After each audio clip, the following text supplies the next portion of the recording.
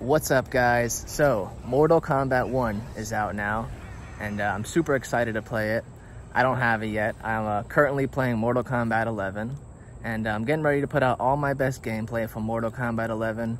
Getting ready to show you guys all my secrets and uh, all the awesome things I did in that game. And uh, yeah, but super excited to uh, get Mortal Kombat 1. Um, right now it's like a super nice day out. It's like 5 o'clock in the evening. So I decided, you know what? It's such a nice day. I uh, kind of want to come outside and talk about Mortal Kombat 1.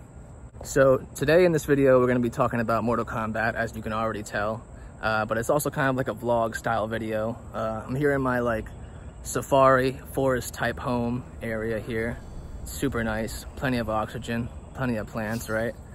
So um, let's get into it. So the reason I can't play Mortal Kombat 1 right now is because I don't currently have a PS5.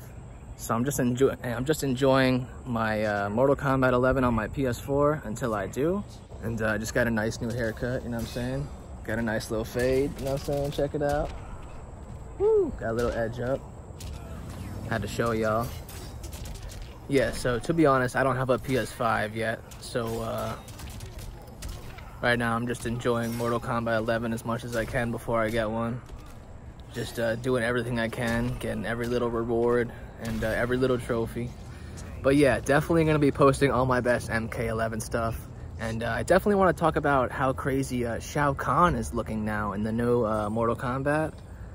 Uh, it's it's almost like they went back in the past and they created this Shao Kahn. You know, that's that's who he was before he officially became Shao Kahn the Emperor, they kind of have like General Shao now, right? So uh, that's pretty cool. They kind of show like all the early versions of everybody, even though it's like Liu Kang created his own reality and his own universe. It still kind of touches back to uh, the way things were in all the old Mortal Kombat's, and I definitely like that.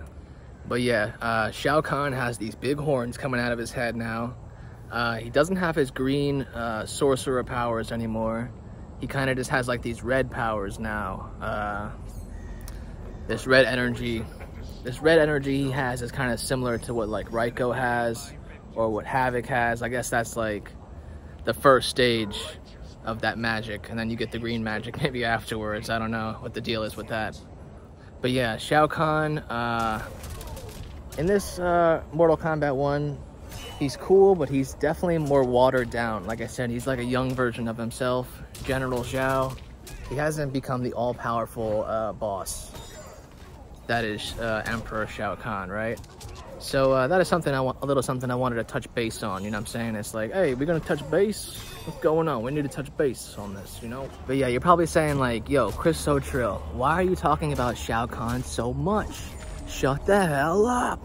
But no, I won't shut the hell up because the reason I'm bringing this up is because look, this is my video, number one. And number two is I like Shao Kahn. Shao Kahn has always been one of my favorite characters. Uh, he's always been the boss monster for a long time.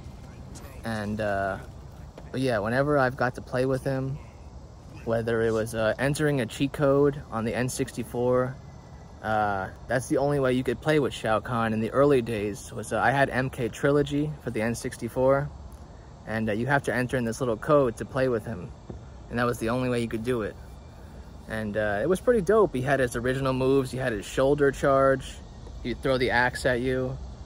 And then the other one was, uh, hmm, maybe just like he grabs you and shakes you and throws you, something like that, right? But yeah, it was always awesome to use him. Uh, they got him in Mortal Kombat 11 now. And you know what's funny? He's one of my favorite characters, but I still have not bought that DLC, and I'll tell you why. I'll tell you why. I'll tell you why right now. Just for one more minute, we're gonna talk about Shao Kahn, right? All right, so Shao Kahn right now on the PlayStation Plus store is $6 for the DLC, okay? I love Shao Kahn more than the next guy, but I'm not paying $6. That's crazy. Like, I'll wait for that to go on sale, maybe half off, and then I'll pay my $3. But no, come on, $6? Kiss my ass, bro. That's that's too much for a character. That's insane. You know, uh, I also play Naruto Shinobi Striker all the time, right? And uh, when I buy characters in that game, I bought three so far, and every time I just wait for them to be on sale. Usually those characters are like $4, and when it goes down to two, that's when I'm buying them, right? So, right, so Shao Kahn is a boss, and I love him, and I just wanted to get that out of the way. So let's move on to the next subject, right? Kung Lao. Kung Lao is my second favorite guy. All right, so Kung Lao has always been one of my favorites because uh, there's a lot of different things he can do, a lot of different ways he can slice you with his hat, and uh, the way he can teleport and grab you is uh, definitely really cool. You know, his combos when he, he spins, knocks you into the air, you can jump up in the air, slice you with the hat. Uh, I'm rambling, I can go on forever about Kung Lao, right? But, uh, but yeah, Kung Lao is definitely my main character in, in MK11. Uh, as you're probably seeing in these little uh, videos next to me here is uh, a lot of Kung Lao gameplay. I play with him a lot online and uh, every time I get a win, I'm like, oh, wow, look at that. I got a win. Maybe I could be a pro player, you know, but it's like, when you start playing with people in the Kombat League that are just way, way so good, they've been playing for like 10 years, so they really got all the dynamics down, you know? like all these little different tech things you wouldn't even think of like uh, you know how close you should be when you strike a, a certain strike. Things you wouldn't even imagine people that they think of right? But um, yeah i honestly wish i could be a pro player. Uh, it takes so many hours of practice though. Like it would take me getting off work of my eight hour shift at work and then i would have to sit down and play maybe like four to five hours every day. Like, like if you were like a martial artist and uh, you do uh, Brazilian Jiu-Jitsu and you want to be really good at it. So you got to go to the gym three to four hours every single day, right? It's like your passion. So that's basically what it takes, you know? People, they're at work all day, they're thinking about Mortal Kombat all day, and then when they get home, they play it. That's how you become a pro player, like straight up.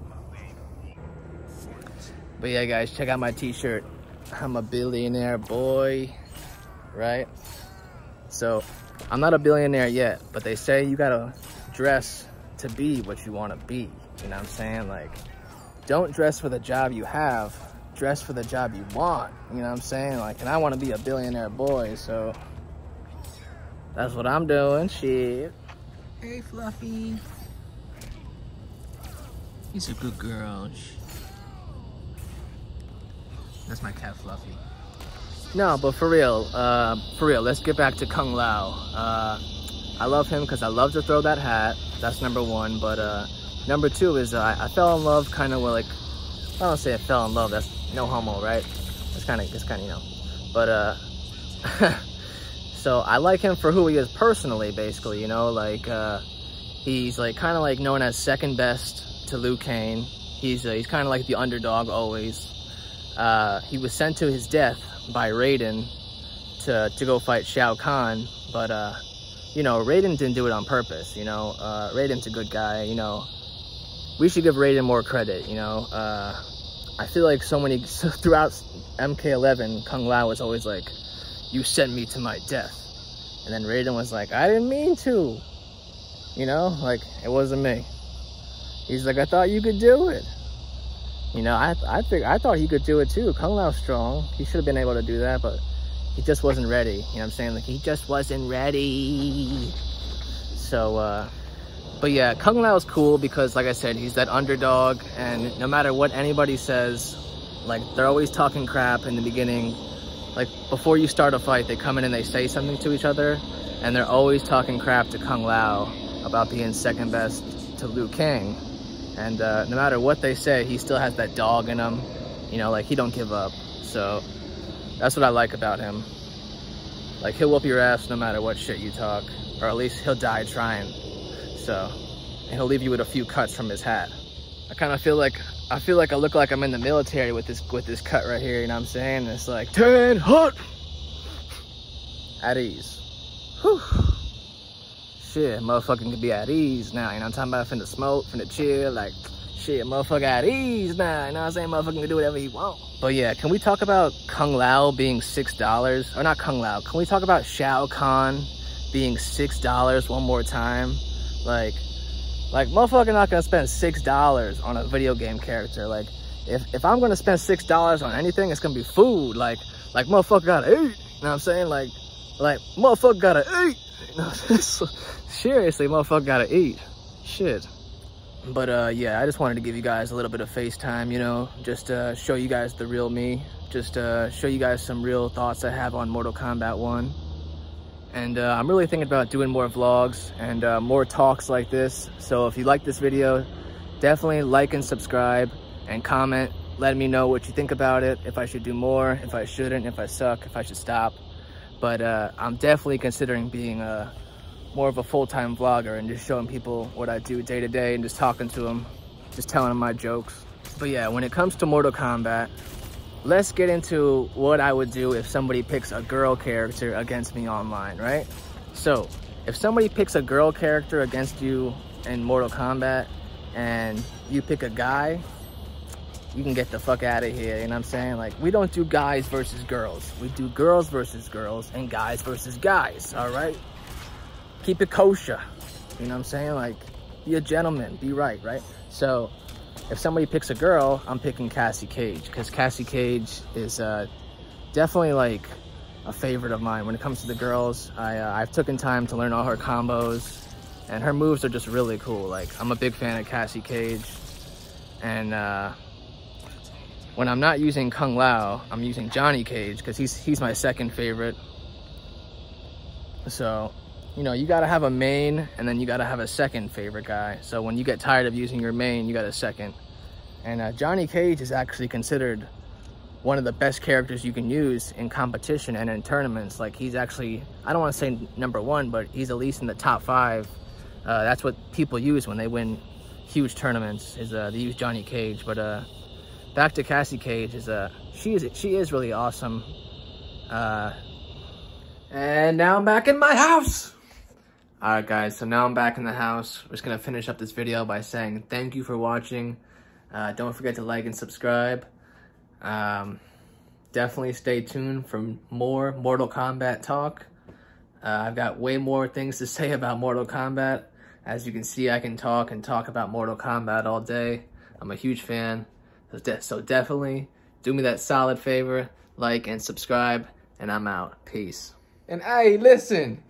Y'all don't gotta go home, but you gotta get the hell up out of here. All right, guys. Thanks for watching. Peace.